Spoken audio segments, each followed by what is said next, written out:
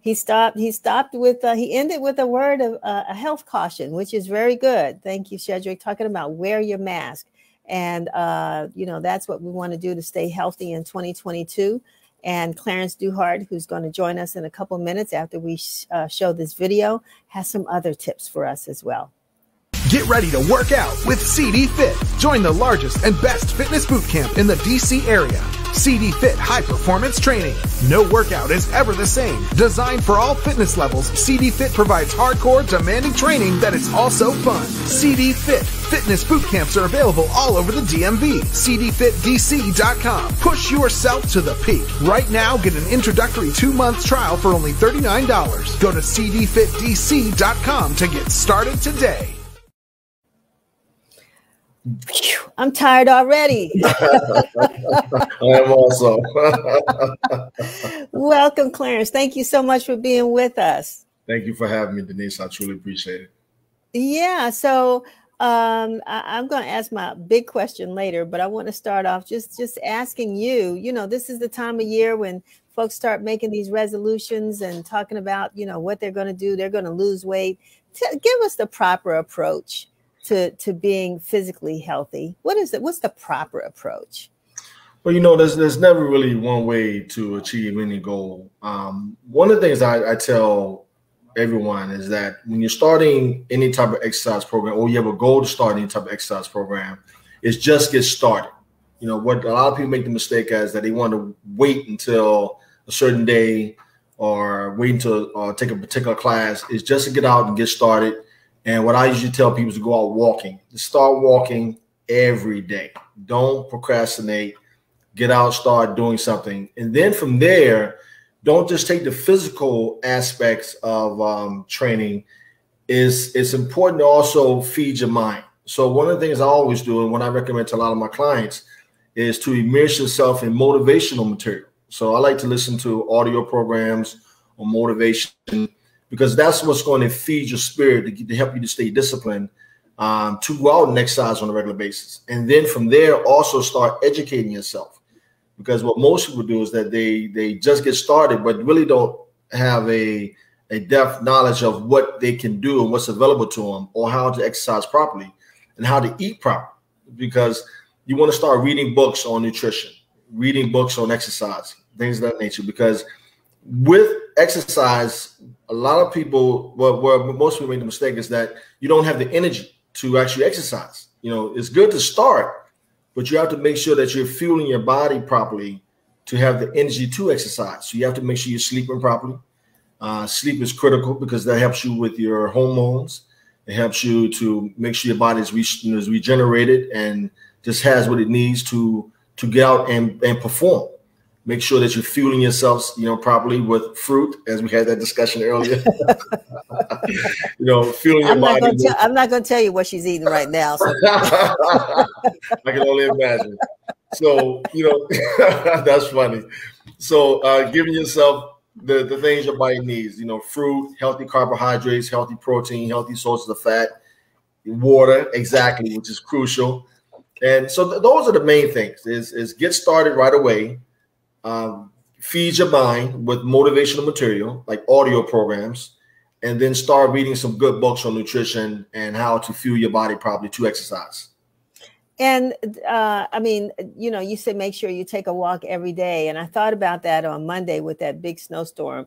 Uh, would you have encouraged people? It's it's another day. Just go on out there and, and deal with it. Would that have been a good day? I mean, is that that wasn't a uh, is that wasn't an excuse day, was it?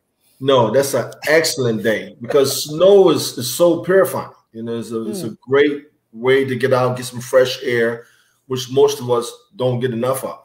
We need that fresh air. You know, don't allow yourself to stay inside because it's snowing outside. You know, go out and get some fresh air.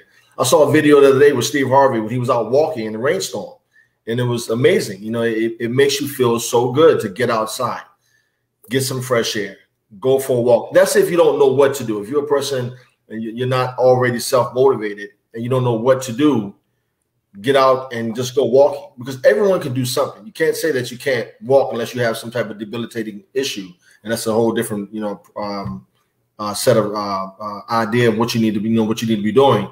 But get out and do something. And the easiest thing that anyone can ever do is just go walk. Just go walking. How did you get into this this you know this fitness um, uh, profession? Uh, what got you started, motivated, but more importantly, what got you wanting to share you know your your um, uh, training with other people? Interesting you say that. Uh, well, I started exercising on regular back in I was wow back in when I was 13 years old at the Boys and Girls Club, umpteen years ago, and just a way of uh, just uh, way of making myself feel better and be stronger and things of that nature. And I just kept that habit up all the way through college. When I was at Howard, um, all of my college friends, I trained everyone, everyone for free. You know, I, I never knew there was a fitness industry. I was a mathematics major. I trained in the gym, groups of people, 5, 10, 15 people at a time for many, many, many years. So even when I when I finished school, I still continued to train people for free. All my friends would follow me to the gym work out outside, go running, basketball, you know, weight training, things of that nature. Then around 1993, I had a colleague of mine by the name of Marcus Battle. Shout out to Marcus Battle. He uh, he introduced me to the fitness in- industry, and from that day forward, I just ran with it. So I've been training for about 28 years now. Mm. Um, worked at all the major health clubs, um, Bally Total Fitness for those who remember Washington sports club, things of that nature. I remember Bally's. Mm-hmm. Yeah, yes, mm-hmm. yes, yes, yes.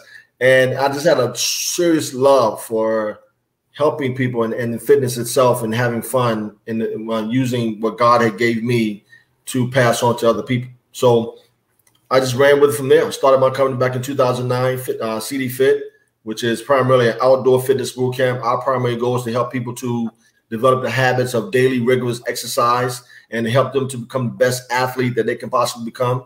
So I try to incorporate athletic type training uh, modules and help people to develop that mindset of being an athlete wherever you are. If you're a couch potato, you're an elite athlete, or if you're a 69 year old senior who just wants to, you know, be prepared for, you know, taking your retirement trips around the world.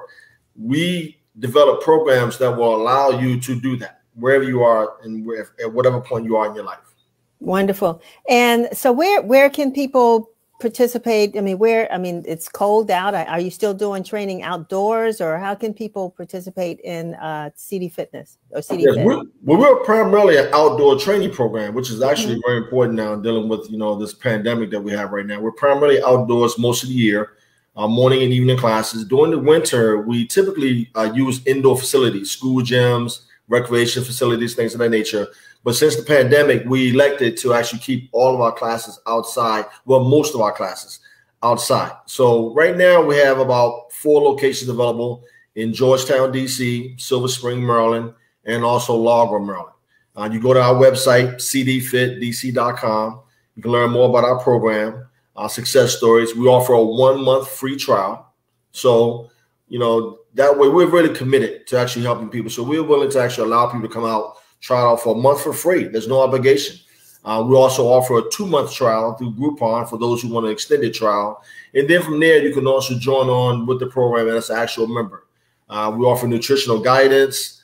Um, we teach people how to train properly, use proper you know, exercise modalities, uh, helping them to prevent injuries, things of that nature. And I'm big on education because that's the key is to make sure that you're exercising properly and also help you to uh, get the most out of your exercise program. And the other thing too, um, Clarence, that a lot of people think uh, because you know gyms are popping up in our neighborhoods now, much more so than they did than they were. I mean, Bally's was one thing. Now we've got yeah. you know others that are everywhere. everywhere. Costs are reasonable, um, uh, affordable. Let me put it that way. But do you need a gym to become fit? No, you, you don't need a gym. Gyms are great. Don't get me wrong. I, I love gyms. I do a little bit of everything. You know, gyms, yoga programs, outdoor, but you do not actually need a gym. You know, mm-hmm. I tell people, like I said, the easiest thing you can do is to go walking. Is just go walking every day. Listen to audio programs on motivation. You know, programs like from Anthony Robbins, Tony Robbins, things that's going to really inspire you, and then from there, start educating yourself on what's available to you so, you know, from walking, then you can maybe start jogging. From jogging, you can maybe then start uh, riding a bike.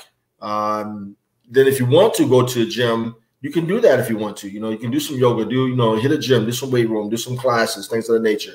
But it's up to it's up to you. You know how far you want to go with that. But the most important thing is to get started and to get started today, not tomorrow, not next week, but today. You know, and then from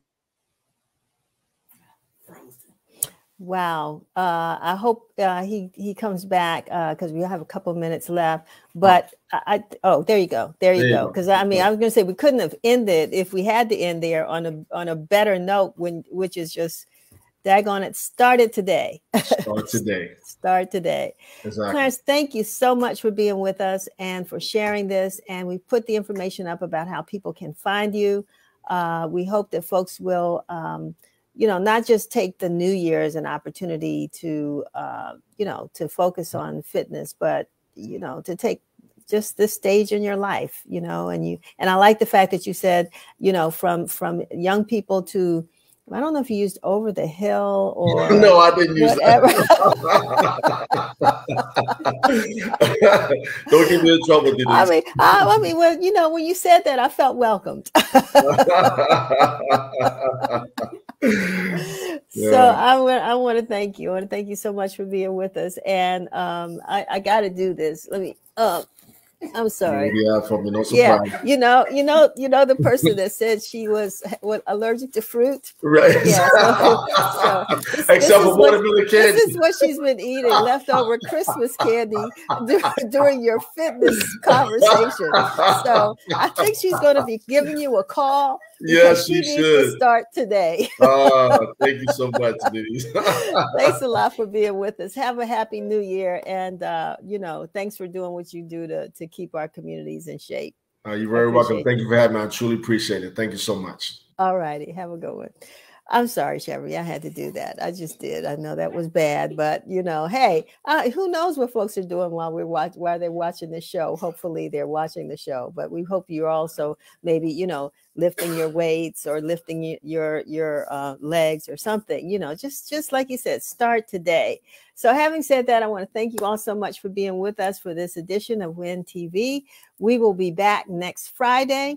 Um, uh, we do have a new edition of What's Going On DC that's coming up next. And uh, pretty soon we're going to have Sounds of the DMV coming back as well.